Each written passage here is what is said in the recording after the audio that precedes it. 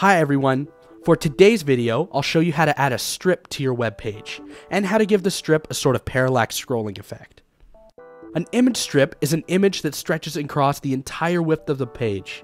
This is great for banner images and displaying larger images.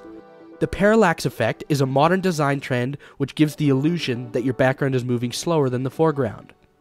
So we have here a web page using an image strip, and it serves two purposes.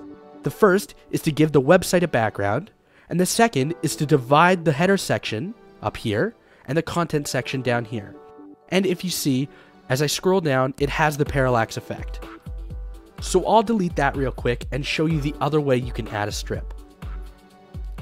Just in this menu, select the trash can. So now you can go back up to add, but instead of image, which would be found here in image strip, we can go down to Shapes and select Strip.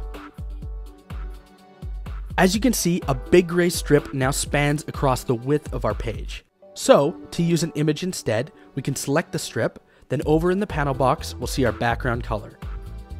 You can go ahead and click the red X in the corner to remove this color, and turn the strip transparent.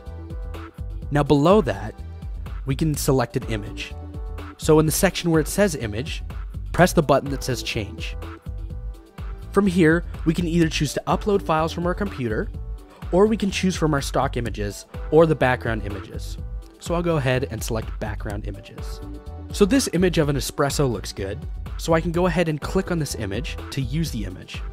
Now you'll notice the image is tiled along the strip, so we can change this in the panel box by choosing the fill option under the section that says scale. You can see it fills it up there. Now that the image is nicely stretched over the strip, we can move it to a place that fits in our page. We can also adjust the height of our image strip by clicking on either of these blue dots. So I'll do that. I'll just change this roughly where the other one was. As it is right now, the strip is in the foreground, and this could be problematic for us as it could potentially block elements of our page.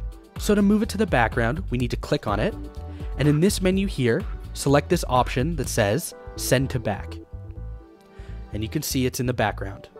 Finally, if we want to add a parallax effect to this image strip, we can head to the panel box by clicking on it, and here, clicking the checkbox that says Add Parallax Effect. You can play around with different speeds of the parallax effect by using this drop down menu here. We can choose fast, default, or even slow.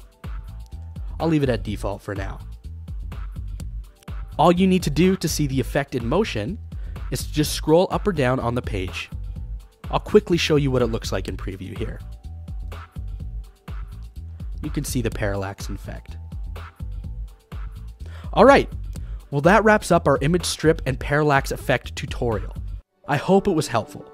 Make sure you subscribe to our YouTube for more great tutorials and follow us on Twitter for all the latest. Thanks for watching.